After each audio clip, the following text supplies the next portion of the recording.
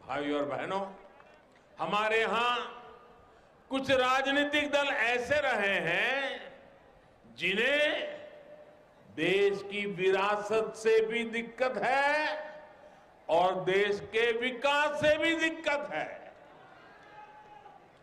देश की विरासत से दिक्कत इसलिए क्योंकि इन्हें अपनी वोट बैंक की चिंता ज़्यादा सताती है।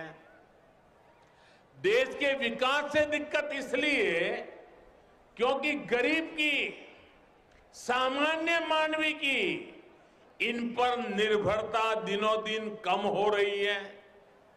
आप खुद देखिए, इन लोगों को काशी में बाबा विश्वनाथ का भव्य धाम बनने से दिक्कत है।